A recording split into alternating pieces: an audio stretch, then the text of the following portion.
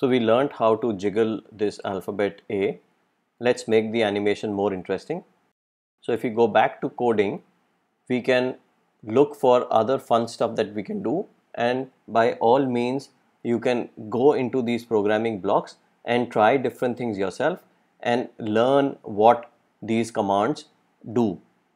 So let's let me go into looks now and in looks we can use some stuff. So for example, I can use this command called change size. So what I'm going to do is it's going to change the size of the sprite. So I'm going to put it inside this repeat loop.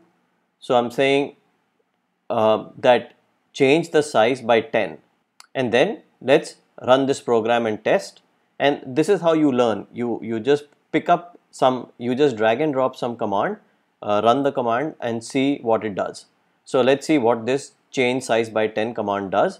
So let's run the program. So it's now jiggling and then every time it jiggles the letter is becoming bigger and bigger and bigger. So if we animate the whole name then it will not fit in here if it becomes bigger and bigger. So what we can do is uh, we can make it grow bigger and then uh, make it shrink. So to do that let me say change size by a bigger factor let's say 50 okay? And then I go back to looks and then I drag change size again. And this time I say change size by minus 50 and I put it here. So now what uh, this program will do is when the green flag is clicked, first it will make sure that the sprite is upright in the right direction. Then it will enter a loop. A loop means that whatever is inside this will get repeated whatever number of times we say. So if I say 5, it will get repeated 5 times. If I say 8, it will uh, get repeated 8 times. And if I say actually 85, then it will get repeated 85 times. So right now I just wanted to repeat 10 times uh, and then within this repeat loop I'm saying change the size of this character by 50 then uh, turn to the right 15 degrees then wait for 0.5 seconds then change size uh, by negative 50 so that it comes back to the same size then turn left and then wait again and then repeat all these instructions 10 times. So let's run this program and see what happens. So again, because uh, it has uh, become so big, the first thing we have to do is we have to say when the program runs, just like we said that before you get into this repeat a set of commands loop, let's, uh, like you were saying, make the sprite go upright. Uh, we also want the sprite to be of the same size. So if I go to this command, this set of commands under look, then I can see that there is a command here which says set size to 100%. So we are saying that when the program starts, set the size of this sprite to 100%, make sure it is upright and then repeat these, these set of instructions 10 times. So let's run this program. I click green button and then I have got this nice animation of uh, this sprite magnifying a little and also jiggling and it does that 10 times. So let's see what other nice uh, animation we can add to our sprite or this A letter. So if I go back to looks, you can just look for interesting commands here. So for example, uh, maybe I want to say uh, change the color effect. So I'm saying repeat, I'm going to drag this out and I'm going to put it inside the repeat loop. And now I'm just saying change the color effect by 25 and then if I test my program and I run it then I have got this the A letter of my name the first letter of my name. It is becoming nicely animated that uh, it jiggles it, it magnifies shrinks and it also changes color. Then you can also play with all the values here. So if you want the color change to be more drastic then instead of 25 you put a higher number here. So let's say I put 55 and likewise for the turn command you can if you want it to turn more then all you have to do is change this number of degrees. So let me say, let's say 25. And of course, if I wanted to turn 25 to the right, then I should also make it turn 25 to the left so that I get the same position back. Then I can run this and test this program.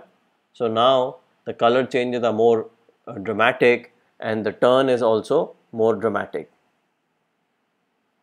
So this is how we have animated the first alphabet or the first letter in my name.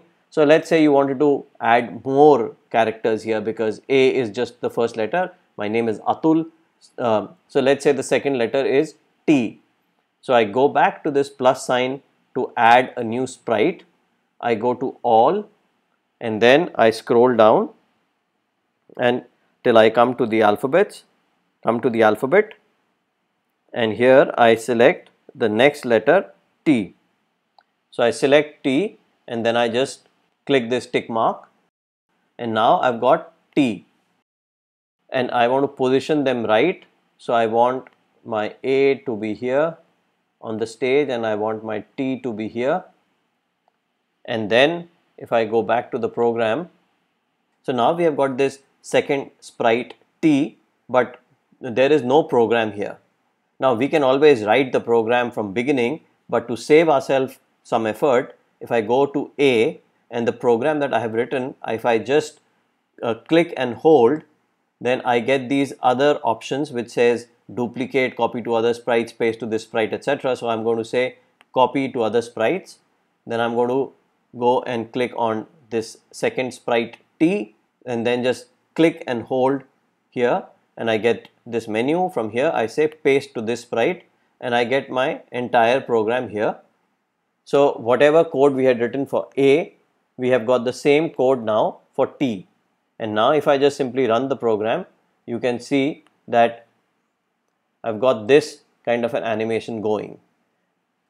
If you don't want that both the sprites should be absolutely identically animated you can go and make some changes in the code I can just change I can say change the color effect by uh, let's say 100 turn it only 5 degrees okay? And I can say turn it back then I have to make this change here also.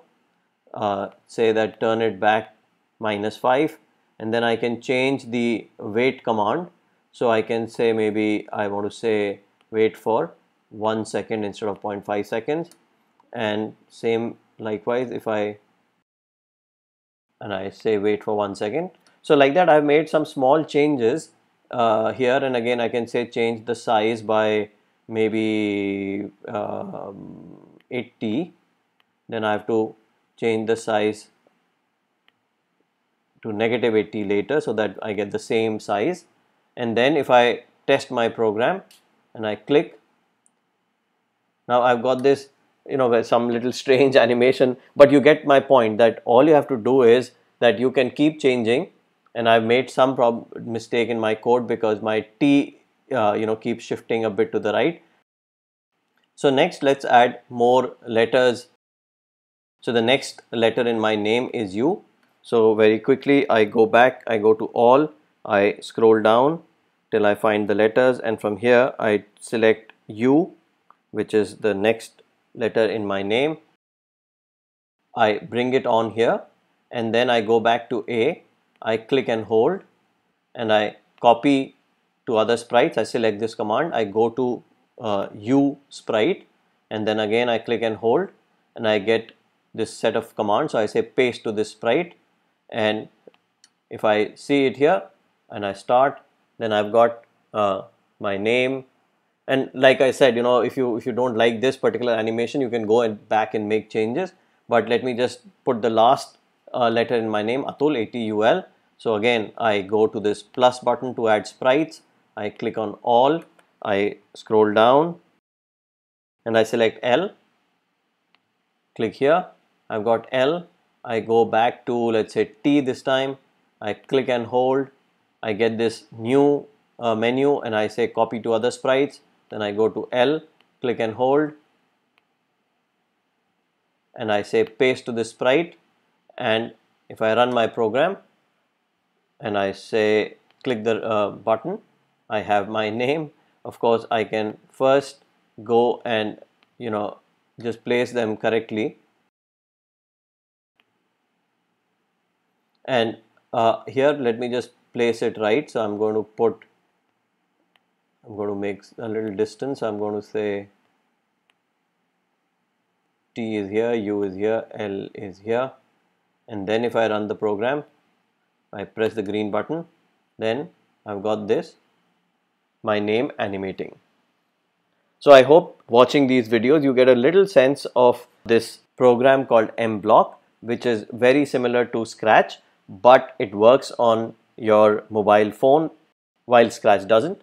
So why don't you try this program? You can try animating your name or try writing any other fun program.